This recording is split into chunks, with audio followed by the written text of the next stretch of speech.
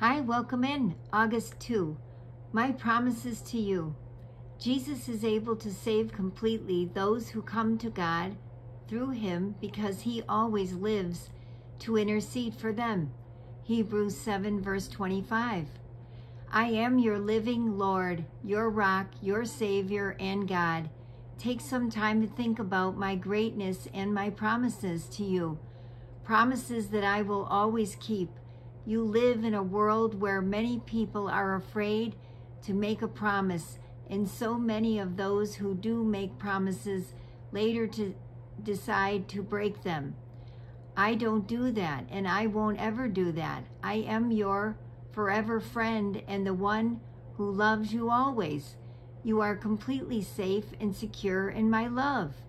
Instead of thinking about the troubles in your life and in your world, remember who I am. Not only am I your living Lord and your rock who never changes, I am also God, your Savior. And because I am the everlasting God, my death on the cross for your sins saves you completely. You never need to worry that I'll stop loving you because you messed up or you aren't good enough. It's my goodness and my sinless perfection that keep you safe and secure in my love. Let my promise of never-ending love give you comfort as you journey through this trouble-filled world.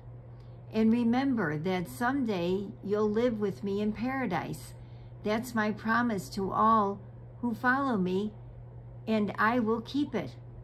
Read on your own Psalm 18, verse 46, 2 Corinthians 5, verse 21.